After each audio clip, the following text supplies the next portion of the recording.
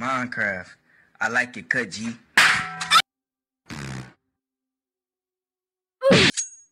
Ooh.